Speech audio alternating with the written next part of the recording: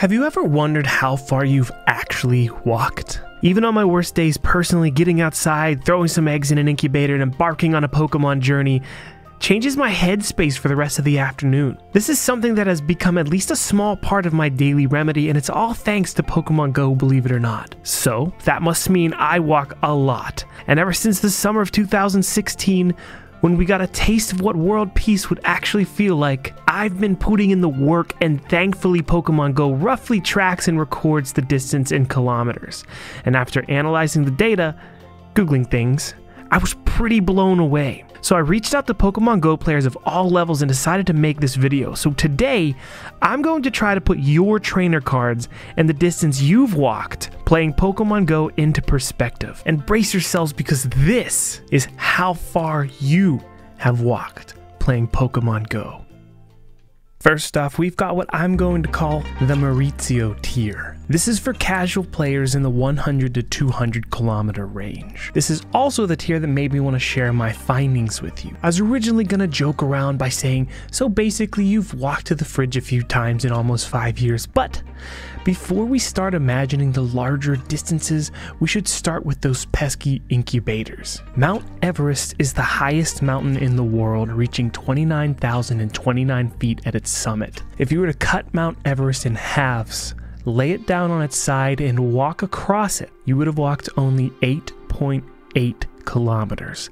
Let that sink in for a second.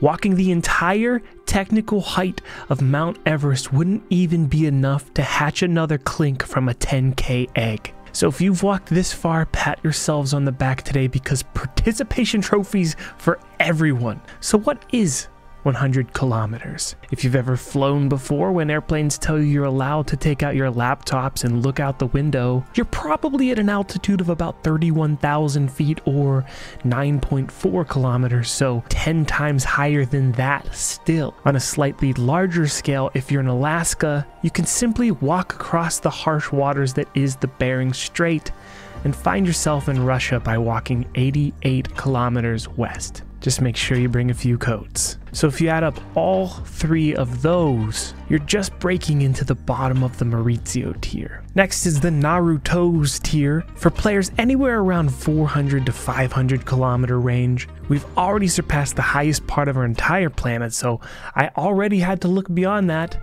In a perfect little routine orbit, scientists from all around the world are working tirelessly in a laboratory to bring us information on the effects of long term space exposure on the human body. At exactly 400 kilometers above us, again, hypothetically speaking, you could have paid them a visit at the International Space Station. But enough about cold places. At approximately 1,000 kilometers, I have the Alico tier. Forget ascending to places we can't walk due to human and geographical restriction. This one's entirely possible and quite beautiful. In 1,240 kilometers, you would have been able to take the scenic route and walk the entire length of the California coastline from north to south, stopping at beautiful beaches from Santa Cruz to Santa Monica. Best not forget your sunscreen. Next, we have the Ankeny tier at a foot breaking 2,200 kilometers. We have an inside joke on stream where if you type the name John, it randomly says, Eat your hot dogs, John. And trust me, you're gonna need the calories for this one. I actually made a really big math error on the Ankeny tier, and I just realized it in editing. Uh, originally, I compared it to the Great Wall of China, but it's not even close to that. So, um, I got a backup plan here for you. John, there are 151 calories in a hot dog. You burn off approximately 76 calories per kilometer. So if you walk 2200 kilometers in the Ankeny tier, you have burned 167,200 calories just walking playing Pokemon Go. And for all you Johns out there, that is 1,107 hot dogs. That's a lot of hot dogs, guys.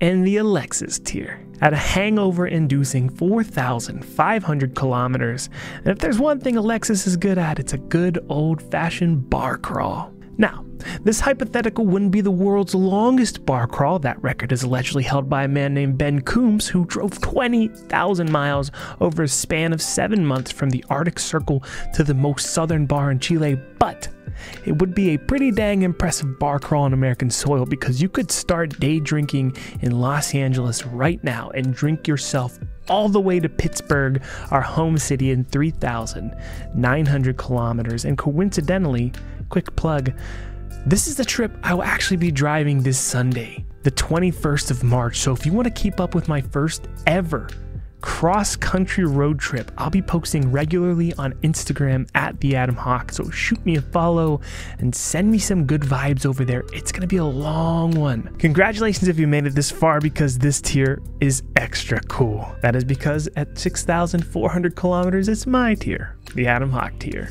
Thank you. Thank you very much. Being born along the Allegheny River, it's no shocker that the water trend in my life continues, but the Allegheny River is only 514 kilometers long, so we have to look a little deeper. The second longest river in the world, as we all know, is home to some of the most interesting and dangerous creatures on the planet and the location of some of the best River Monsters episodes. God, I love that show. Just like my player distance, the Amazon River winds exactly 6,400 kilometers. I don't know if I could have survived that walk, probably not, but I definitely would have risked it all to lightly boop a boto on the snoot. If you didn't know that, Botos are the little pink thin-skinned river dolphins. They are adorable. And speaking of mighty travelers, welcome to the FAP tier. A mod of mine infamous for his amazing Taylor Swift shirts and trips to Vegas at 9,000 kilometers. In 1492, Columbus sailed the ocean blue. He looked for Japan, but he found South America and murdered and enslaved thousands of people.